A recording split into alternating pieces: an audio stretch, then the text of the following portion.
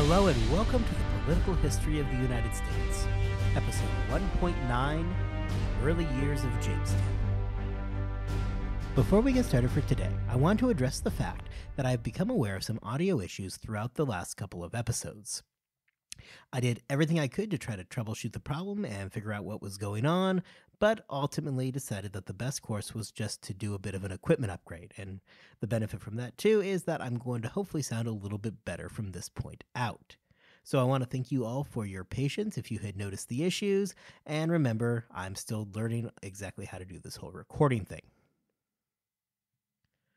We have spent the past two episodes discussing the founding of Jamestown. In our first episode, we took our settlers across the Atlantic, and then last time we discussed the other people who were already in Virginia, specifically the Powhatan Confederacy.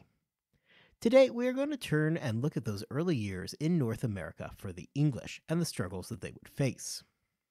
We know that the English are eventually going to prevail and come to dominate what would become the United States. However, during the early years of the Jamestown colony, that survival was hardly a guaranteed thing. After all, colonies had failed before.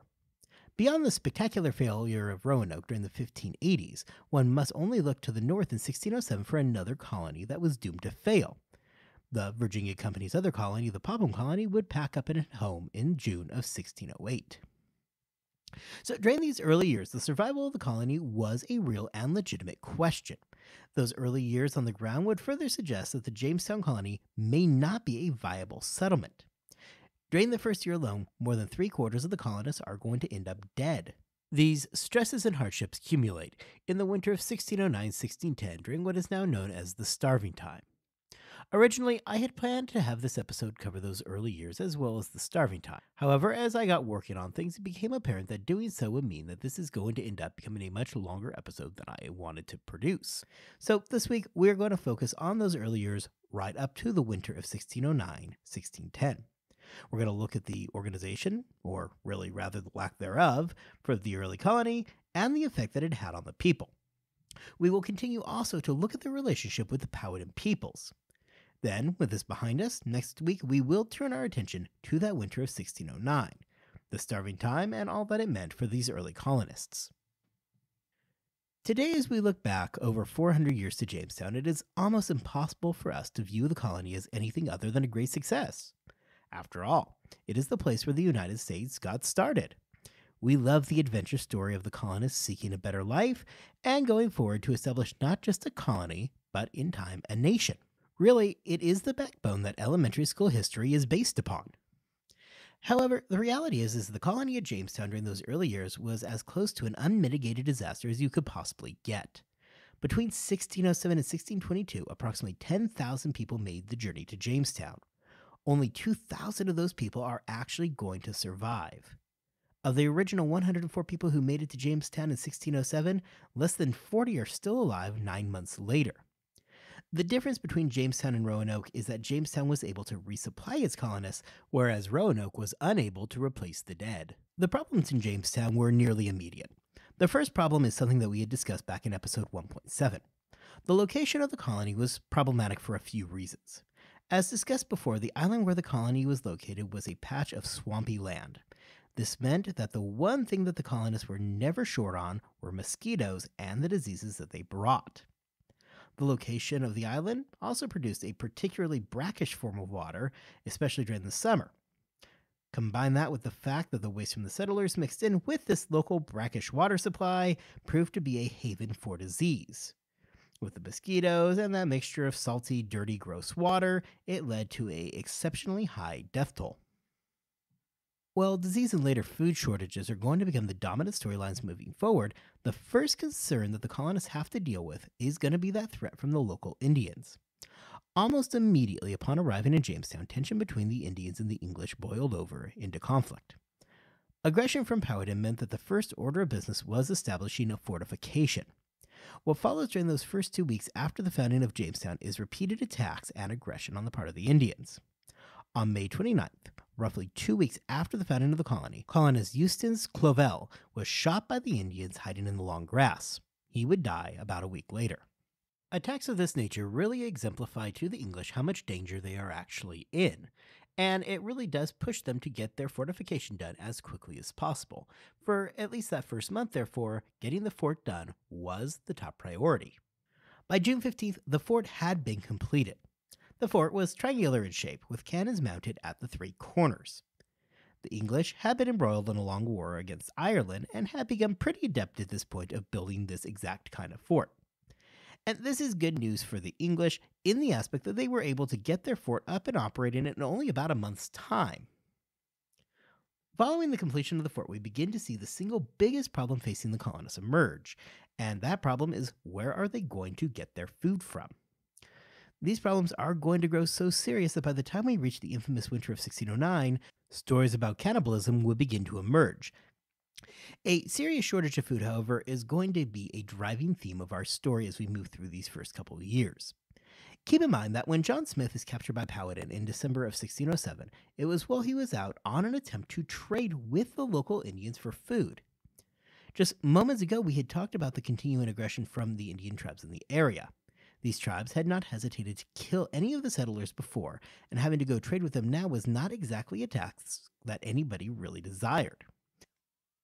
If anything, however, this should show at least the initial desperation that the colonists had. Even if it meant risking personal safety, securing some kind of food trade was critical to the long term survival of the colony. Problems with the food supply quickly became apparent to the colonists. About a week after the completion of the fort, Captain Newport set sail back to England in order to resupply. He had told the colonists that he would be back in about five months with new supplies. So, setting sail on June 22nd, the colonists were now left on their own. By this time, however, the colonists had already found it necessary to reduce their normal diet. Storing grain long term, especially while at sea, was especially a daunting task during the 1600s, and by the time that Newport leaves, the grain had become infested with worms. At this point, the diet the settlers were eating was reduced to just rations of boiled wheat and barley while they waited for Newport to return. What makes this situation so serious for the colonists is that obviously this is not the first time people have ever crossed the Atlantic. By this time, there is well over 100 years worth of people who have made the journey.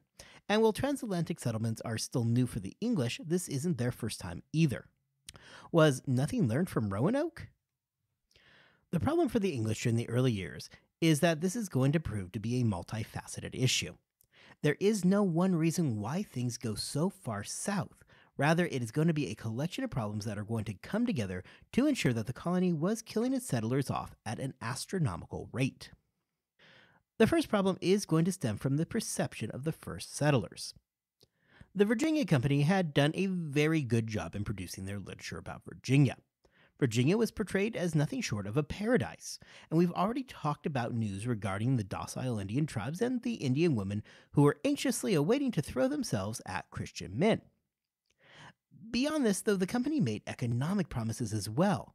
The standard promises of gold and riches throughout Virginia was abundant throughout all of the early literature. For some men, such as John Smith, the dream of finding the elusive Northwest Passage still remains. In many ways, the first people crossing the Atlantic were akin to the people during the gold rushes of the 1800s. There was a promise of riches, and they followed it. For those coming over to seek personal riches, the idea of having to farm and tend fields would have seemed like a complete waste of time. After all, you've got these docile Indians who would be more than happy to provide them with all the food and supplies that they need. And hey, even if the Indians balked, there are enough of these other people coming along on the trip that they could man the fields while I go out and seek treasure and gold. What really cemented these ideas is that coming over and securing these huge personal riches really is not something that's that far out of the question. The English had to look no further than the conquistadors. Stories of Cortez and the Spanish conquering the Aztecs was well known by this point, and many of the first settlers would have had this as something constantly on their mind. During those early years, searching for gold and other precious metals was of paramount importance. The problem is, though, that there really isn't much in the way of gold in Virginia.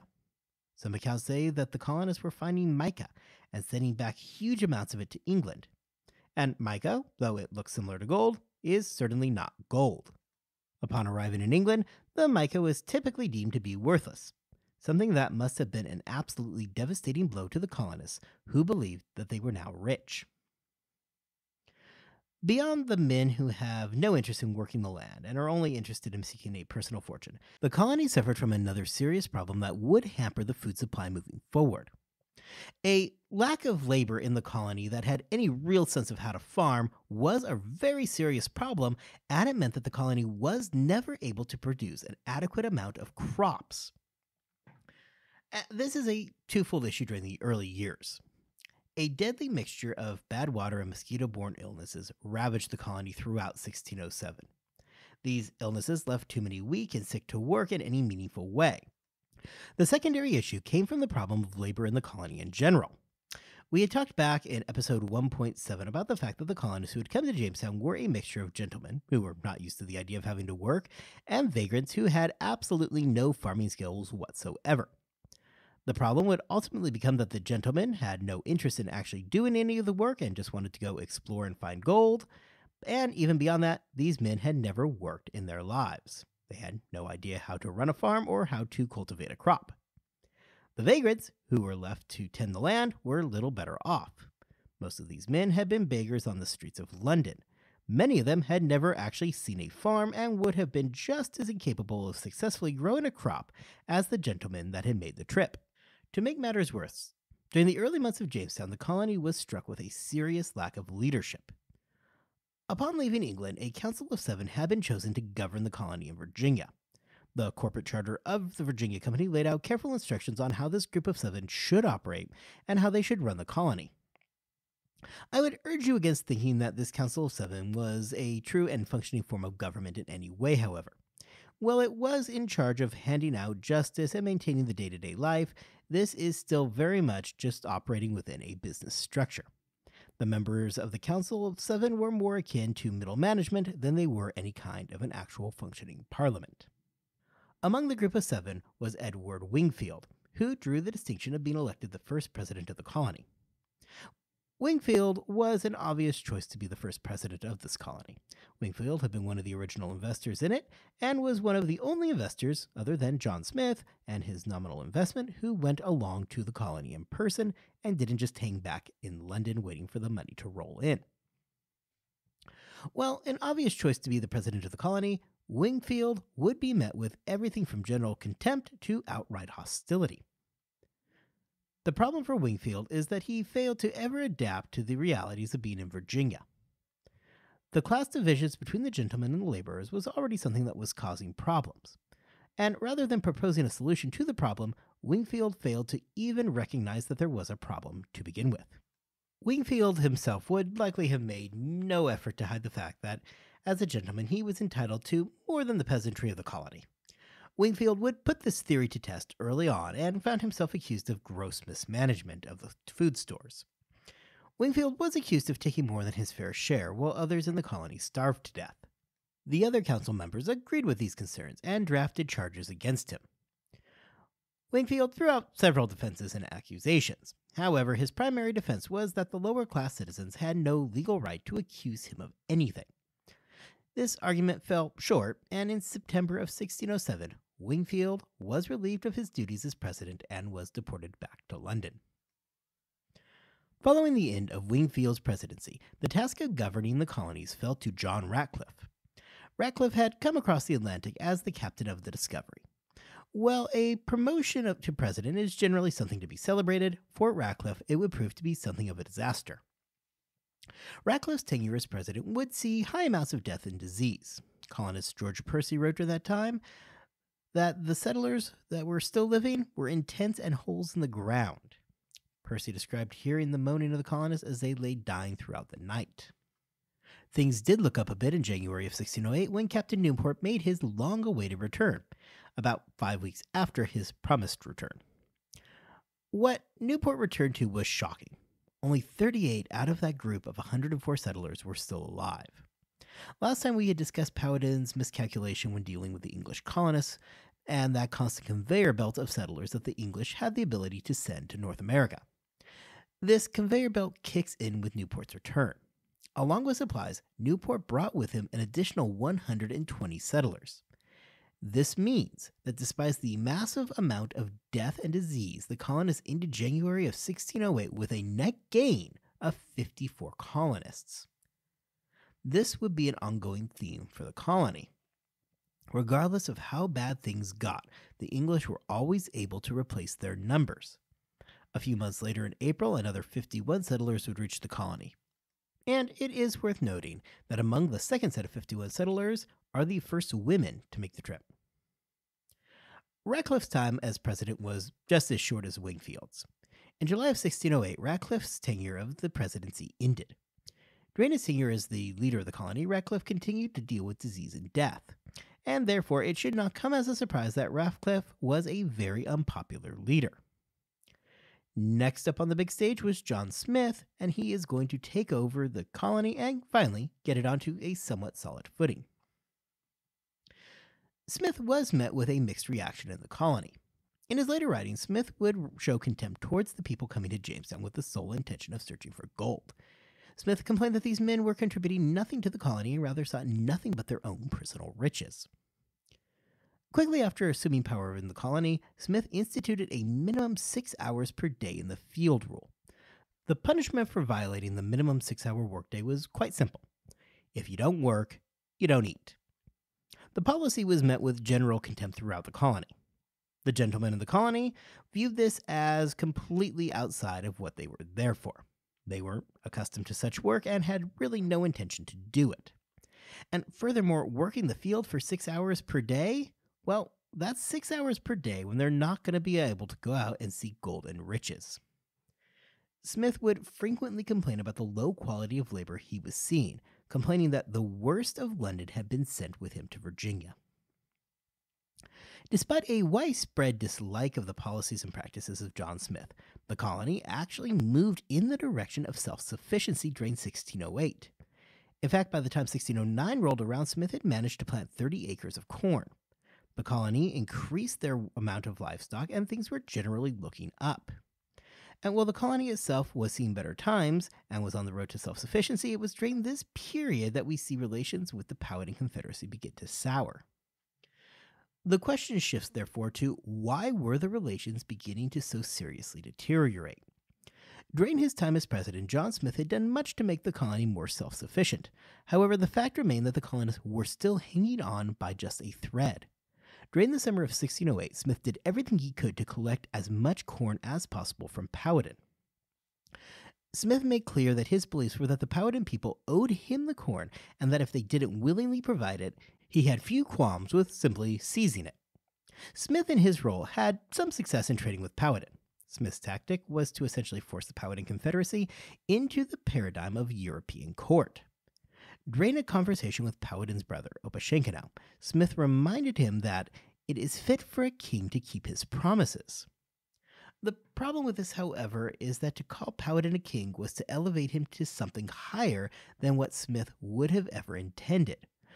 Whether or not Smith knew this is unclear, but his ultimate goal of the Virginia Company was to convert Powhatan into a vassal state of England. It seems unlikely that Smith would have viewed Powhatan as anything less than a future subject of the young English empire. For Smith, however, he had little choice. His people remained dependent on Powhatan, and at least to this point, Smith maintained the best overall relation with an Indian leader amongst the group. It shouldn't come as a surprise, then, that the starving time comes immediately following John Smith's departure from Jamestown. For Powhatan, this presents him with dual problems as well. It can be speculated that his initial agreement to provide corn to Jamestown came on the basis of him exerting power. What better way to contain a colony than become the food supplier? It provides protection for Powhatan and his people because the English colonists would be hesitant to kill the people who are feeding them. Likewise, should the Powhatan Confederacy come under attack from another source, he would have a powerful ally in the English.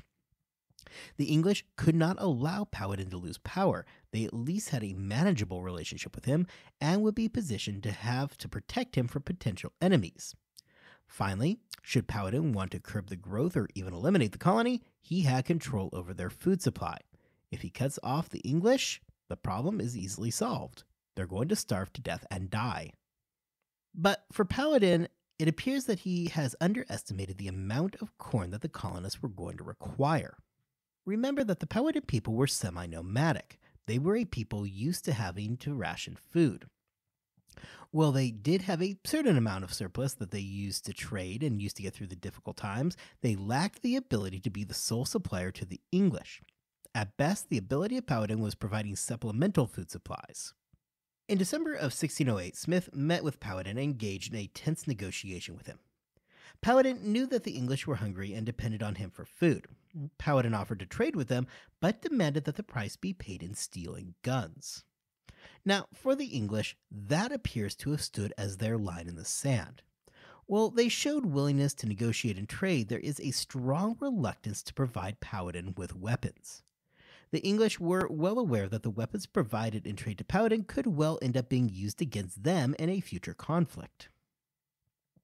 According to John Smith, following a stirring speech where he vowed to never cease seeking revenge should Powhatan not provide for Jamestown, yet would remain a close friend if he did, Powhatan relented and agreed to trade a small amount of corn on this occasion without getting weapons back in return. The truth of whether or not the speech ever took place is absolutely debatable. With a significant language barrier still existing between Powhatan and Smith, it seems unlikely that Smith could have delivered such a speech effectively. Likewise, there does seem to be the widespread question about the veracity of Smith's claims in later writings. As previously discussed, John Smith was not above embellishing. Regardless of the circumstances, however, Powhatan does make clear through these and future interactions that his continued support of the English was not a sustainable model. Powhatan informed Smith that should the English get more aggressive, he would remove his people and hide deep in the woods, where the English would not be able to reach him. This wasn't an idle threat either from Powhatan. As previously discussed, this group was semi nomadic. They had moved before and they would ultimately move again for the English pushing too hard meant potential starvation. Making matters worse for the English, in October of 1609, Smith would suffer a very serious burn. John Smith used this as an excuse to give up the presidency and return to London. Smith would never again return to North America. By this point, John Smith had become deeply unpopular amongst the other colonists. Smith struggled with mutinous colonists and often found himself fighting to keep the colony under control. Despite this, however, one of the places that Smith does seem to excelled in his dealings is with Powhatan. Smith and Powhatan certainly have a tense relationship, but it is Smith who seemed to have some understanding of his positions. Following Smith's exit, the colony was left in the hands of George Percy. George Percy is going to have far less luck dealing with Powhatan. These poor relationships are best exemplified from an incident that took place in December of 1609. With food supplies seriously dwindling and Powhatan not supplying the colony with food, the English decided to take a more aggressive stance. Led by John Ratcliffe, a plan was struck to help strong arm Powhatan into giving more food. Now, before you ask, yes, we did in the era of Ratcliffe as the leader of the colony in this episode, so none of this is actually going down during that time where he's leading the colony. However, John Ratcliffe did remain in Jamestown and, at least for a few more minutes, is going to remain a prominent colonist. So, what was this great plan? Well, it appears that in order to get Powhatan to work with him, Ratcliffe and his group went ahead and took two of Powhatan's children hostage. It is unclear if these were actually physical children of Powhatan or rather were just children of his tribe. Regardless, however, Ratcliffe was attempting to procure food through a new and more aggressive style of negotiation. And I think it can go completely without saying here that Powhatan was not amused by these new tactics. Powhatan invited Ratcliffe and his party to come meet with him to discuss providing the colony with food. And upon reaching Powhatan's settlement, Ratcliffe released the boy and the girl whom he had taken into custody. Powhatan, however, had no intention to simply let a challenge to his sovereignty go without a challenge. Needing to make clear that he was not going to simply provide corn on demand, Powhatan lured the colonists into a trap. The men who had accompanied Ratcliffe to meet Powhatan were summarily executed. One man did manage to escape back to the boats that Ratcliffe and his men had traveled on. Those who remained aboard the boats managed to get back to Jamestown safely. For John Ratcliffe, though, this is going to mark the end of the line for him. Powhatan captured him much the same as he had John Smith back in 1608. However, unlike with John Smith, there was nobody there to save him. There was not a ceremonial adoption, just torture and an execution. According to the sources, Ratcliffe was tied naked to a tree and a large fire was lit before him. Ratcliffe was then skinned alive and forced to watch as his skin was thrown into the fire. Finally, Powhatan had Ratcliffe burned. So, yeah, that is actually pretty awful. The incident left absolutely no doubt as to Powhatan's stance. He no longer had interest in sustaining the colonists and rather sought to exert his own personal sovereignty. Powhatan viewed the English as a threat and had no interest in helping them survive. He wanted the English gone. I want to finish up this week by talking briefly about some of the other changes that were happening to the colony during this time. These changes are going to have a major effect on the future direction of the colony and is going to help explain some of the hardships that are coming. The Virginia Company had come to the conclusion that the current governance of Jamestown just was not working. The Council of Seven voting to elect a president had yielded nothing but death and disease. The colony was absolutely nowhere close to profitability and was basically just hemorrhaging money. The English, despite their best attempts, were dying at a rate as fast as the English could send new settlers across the Atlantic, where they were probably going to die as well. With this in mind, the Virginia Company concluded that the council system was not going to be an efficient way to either make the company profitable or help extend English influence in North America. As a response to this, the company concluded that the best strategy would be to institute a more absolute system of government inside the colony. Instead of a quasi democratic council, the company wanted to transition to a one man rule system. The company decided that the officers would become governors of the provinces. Each governor would be given the power to manage the land, as well as interpret and enforce the law. Most importantly, the individual governors were tasked with the job of enforcing the policies of the Virginia Company. What the changes are ultimately going to mean is that the colony will move from what had been the relative chaos to a much more structured colony under a near military style rule. At the same time, the Virginia Company was changing how they issued stock. The company offered new shares, however, they were unable to issue dividends, as the colony at this point was operating at very deep losses. Instead, in order to sell shares, the Virginia company sold the stock by offering shareholders profits by the land. For an investment of just 12.5 pounds, a shareholder would get profits from a 100 acre plot of land. This is going to mark the beginning of private land ownership in the English colonies. Finally, the Virginia Company did at least realize that part of the problem with the colony had been the low quality of recruits. Recall in episode 1.7, we had talked about how many of the initial recruits to go to London were vagrants off the street, something we talked about earlier again today as well. In fact, it was seen as an easy solution to the growing homeless problem in London. Just shift the increasingly homeless population off to the faraway land of Virginia. Of course, this meant that in the colony itself, you have a group of settlers who were completely unprepared for the reality of life in Virginia. This is something that the governors now sought to move away from and bring some more skilled settlers in for control. The new governor of the colony was a Lord Delaware. Delaware had some troubles in 1601 when he had been accused of supporting a failed attempt on the life of Elizabeth. These charges were ultimately dropped. And just as a quick side note that you can share with all your family and friends, Delaware's great grandmother was Mary Boleyn, the sister of Anne Boleyn. So, see, everybody here is related. Upon becoming governor, Lord Delaware decided that he wasn't feeling great and decided that it was better to send his lieutenant governor instead. Sir Thomas Gates, a veteran of the English campaign in the Netherlands, set out to take command of the struggling Jamestown colony. Gates did not travel lightly. Coming along with him were nine ships and 500 men. This was by far the largest trip ever made to the Virginia colony to that date. Unfortunately for Gates, the trip proved to be a difficult one. Of his nine ships, one of them was lost at sea and another ran aground in Bermuda. Problematically, the ship that did run aground in Bermuda happened to be the ship that Gates himself was on. This means that when the seven other ships arrived and 300 new settlers were in Virginia in August of 1609, Sir Thomas Gates was not among them.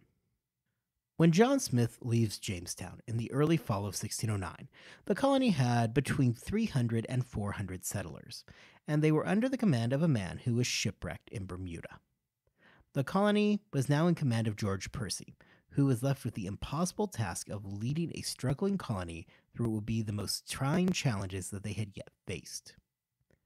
In two weeks' time, we are going to get into that winter of 1609 1610.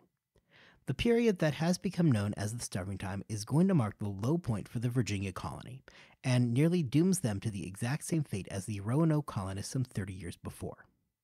So, with that, I will see you back here in two weeks' time, and we will begin to address the starving time in detail. Thank you for listening, and I look forward to seeing you back here in two weeks.